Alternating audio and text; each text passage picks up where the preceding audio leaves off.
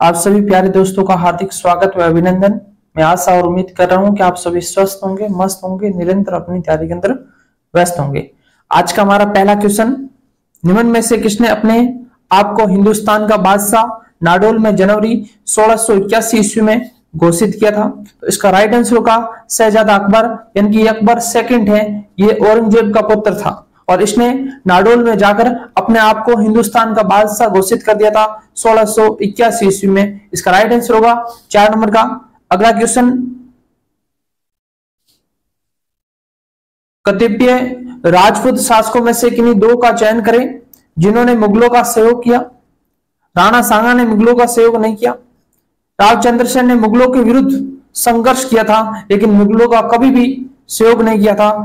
मानसिंह मिर्ज़ा राजा मानसिंह जयपुर के शासक, जो अकबर के समय और जहांगीर की इन दोनों की सेवा की थी। इसका मतलब मिर्ज़ा राजा मानसिंह ने उनकी सेवा की थी। और बीकानेर के राय सिंह, जो अकबर के समय और जहांगीर के समय दोनों की सेवा की तो इसका राइट आंसर होगा तीन और चार, जिन्होंने मुगलों का सहयोग किया। इसके अलावा मारवाड़ के मोटा राजा उदय सिंह ने भी मुगलों का सहयोग किया था। और मारवाड़ के सूर सिंह, जिसे अकबर के द्वारा सवाई राजा की उपाधि दी गई, उनके द्वारा भी सहयोग किया गया था। इसके अलावा जयपुर के सवाई जय सिंह, जिसे औरंगज़ेब के द्वारा सवाई की उपाधि दी गई थी। इसके अलावा मिर्ज़ा राजा जय सिंह, जो जय सिंह फेस्ट शाहजहा के द्वारा मिर्ज़ा राजा की उपाधि दी गई थी, उन्होंने उन्होंने भी मुगलों की सहयोग किया था। तो इसका राइट आंसर होगा तीन और चार। अगला क्वेश्चन। सन 1177 सामंत सेना के द्वारा के हाथों पराजित होने के बाद में डूंगरपुर राज्य की स्थापना की। तो जालोर के शासक थे कीर्तिपाल चौहान। उनसे पराजित हो गया था कौन? सामंत सिंह। उसके बाद में वह दक्षिण की ओर जाता है और वागड़ के अंदर, यानी कि डूंगरपुर के अंदर गुल राजवंश की स्थापना करता कौन? सामंत सिंह। तो इसका राइट आंसर होगा, ये कीर्तिपाल चौहान से पराजित होने के बाद में इन्होंने मेवाड़ छोड़कर वागड़ चला गया था और इन्होंने ग्यारह सो अठहत्तर ईस्वी के अंदर, डूंगरपुर के अंदर गुल वंश की स्थापना की थी। इसका राइट आंसर होगा चार नंबर।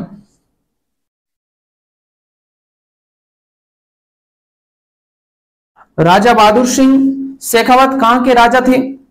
तो इसका राइट आंसर होगा, ये खंडेला के राजा थे।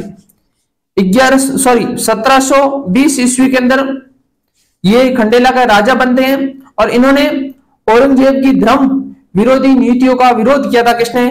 खंडेला के राजा बहादुर सिंह के द्वारा। इसका राइट आंसर होगा। एक नंबर। अगला क्वेश्चन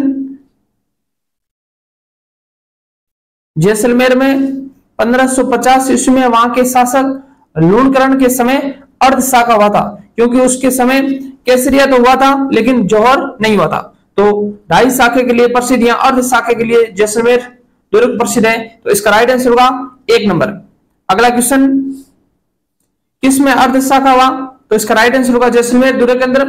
अर्ध शाखा हुआ था, कब हुआ था? 1550 ईस्वी के अंदर हुआ था। और उस समय जैसलमेर के भाटी राजा लूणकरण थे। उस समय केसरियत हुआ था, लेकिन महिलाओं के द्वारा जोहर नहीं किया गया था। तो इसका राइट आंसर होगा तीन नंबर। अगला क्वेश्चन जाट वंश का 18वीं शताब्दी के मध्य में किन भूभागों पर आधिपत्य था? तो इसका राइट आंसर होगा भरतपुर और धौलपुर राज्यों पर। जाट वंश का राजवंश था। इसका राइट आंसर होगा एक नंबर। अगला क्वेश्चन महाराजा सूरजमल किस राज्य के शासक थे? तो इसका राइट आंसर होगा, ये भरतपुर के जाट महाराजा थे कौन? सूरजमल। इसका राइट आंसर होगा चार नंबर। और सूरजमल जिसे जाटों का, प्लेटो कहा जाता है। इसका राइट आंसर होगा चार नंबर। अगला क्वेश्चन भरतपुर के किस जाट सम्राट को जाटों का अफलातुन या प्लेटो कहा जाता है? तो इसका राइट आंसर होगा सूरजमल जाट। इसका राइट आंसर होगा एक नंबर का। अगला क्वेश्चन महाराजा सूरजमल किसके पुत्र थे? तो इसका राइट आंसर होगा, ये बदन सिंह के पुत्र थे। इसका राइट आंसर होगा, दो नंबर का। अगला क्वेश्चन जवाहर सिंह एवं रणजीत सिंह किस रियासत के शासक थे? तो इसका राइट आंसर होगा, ये भरतपुर के जाट महाराजा थे। इसका राइट आंसर होगा, तीन नंबर का। अगला क्वेश्चन निम्नलिखित में से कौन प्रतापगढ़ का शासक नहीं रहा? तो इसका राइट आंसर होगा सूरजमल जाट ये भरतपुर के शासक थे जिनका बचपन का नाम सुजान सिंह था। जिनके बचपन का नाम सुजान सिंह था। अगला क्वेश्चन महाराजा सूरजमल का अन्य नाम कौन सा था? तो इसका राइट आंसर होगा सुजान सिंह, इनका अन्य नाम था। या इनके बचपन का नाम था महाराजा सूरजमल का। अगला क्वेश्चन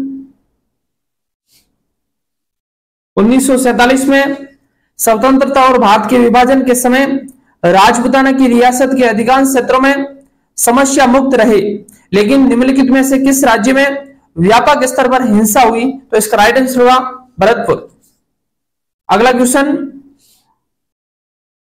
राजस्थान में यादव राजवंश कहाँ शासन करता थे तो इसका राइट आंसर होगा करौली जैसलमेर के अंदर यादव राजवंश का शासन काल था। मैं आपको बता दूँ कि यादव राजवंश करौली के अंदर, विजयपाल यादव के द्वारा 1040 ईस्वी के अंदर यादव राजवंश की स्थापना की गई थी। कहाँ पर? करौली के अंदर, विजयपाल यादव के द्वारा 1040 ईस्वी के अंदर यादव राजवंश की स्थापना की गई। और उसके बाद में 1650 ईस्वी के अंदर यादव राजवंश के शासक धर्मपाल सेकंड के द्वारा, किसके? धर्मपाल सेकंड के द्वारा करौली को अपनी राजधानी बनाया था। तो प्रश्न पूछा जा सकता है कि करौली को राजधानी किसने बनाया था? तो आपका आंसर होगा धर्मपाल सेकंड के द्वारा 1650 ईस्वी के अंदर करौली को राजधानी बनाया। अगला क्वेश्चन निम्न में से किसने करौली को अपनी राजधानी बनाया? तो इसका राइट आंसर होगा धर्मपाल सेकंड 1650 ईस्वी के अंदर करौली को अपने राजधानी बनाया इसका राइट आंसर होगा चार नंबर का अगला क्वेश्चन तालाब ए साई धौलपुर का निर्माण, जहांगीर के किस मनसबदार ने करवाया? तो पहले तो आपको ये याद रखना है कि तालाब ए साई झील कहाँ पर है? धौलपुर के अंदर इसका निर्माण कौन से मुगल बादशाह के समय करवाया? जहांगीर के समय करवाया। कौन से मनसबदार के द्वारा करवाया गया? तो आपका आंसर होगा सहले खान के द्वारा इसका निर्माण करवाया गया। इसका राइट आंसर होगा तीन नंबर। अगला क्वेश्चन। धौलपुर के पास निम्नलिखित पर्यटन स्थलों में से किसे 1617 ईस्वी में राजकुमार शाहजहां के लिए शिकार स्थल के रूप में निर्मित करवाया गया? तो इसका राइट आंसर होगा, तालाब शाही का निर्माण करवाया गया। किसके द्वारा निर्माण करवाया गया था? जहांगीर के द्वारा निर्माण करवाया गया था। कब करवाया गया था? 1617 ईस्वी में करवाया गया था। किसके लिए करवाया गया था? तो शाहजहां के लिए करवाया था, जहांगीर के द्वारा। और कौन से मनसबदार के द्वारा इसका निर्माण करवाया गया था? तो आपका आंसर होगा, सहले खान के द्वारा इसका निर्माण करवाया गया। और कहाँ करवाया गया? तो धौलपुर के अंदर इसका निर्माण करवाया गया था। तो इन तमाम क्वेश्चन आप याद रखना, आने वाले एग्ज़ाम के अंदर पूछा जाएगा।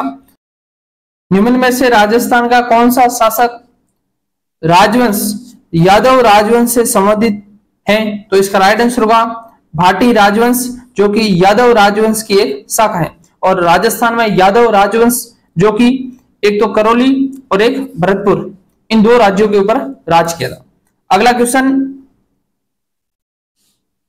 निम्न में से कौन टोक मुस्लिम रियासत का संस्थापक था?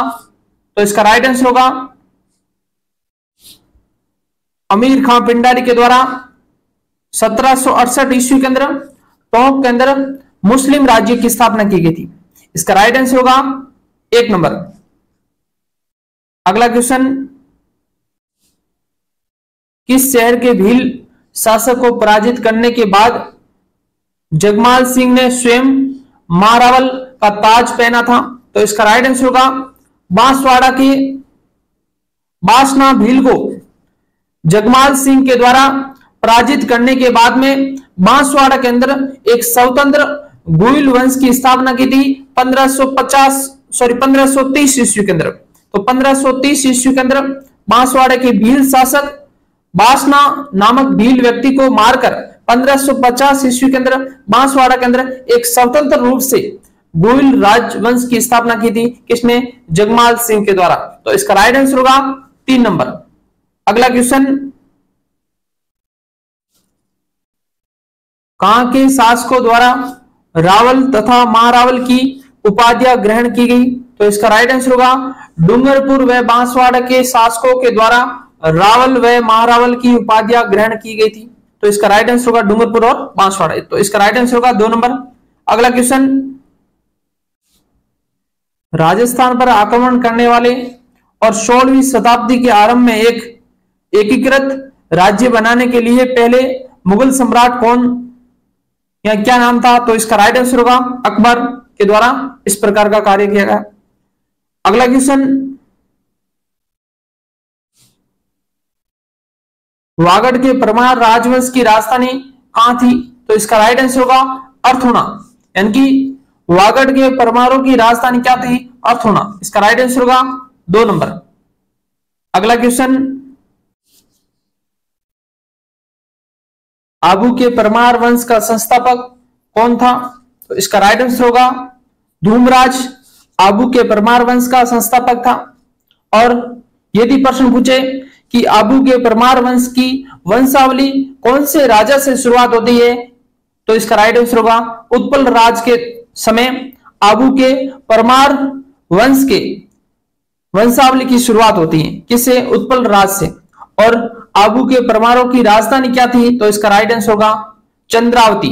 आबू के परमारों की राजधानी क्या थी? चंद्रावती। अगला क्वेश्चन आबू के परमाणु की प्राचीन राजधानी थी तो इसका राइट आंसर होगा प्राचीन राजधानी क्या थी? चंद्रावती थी।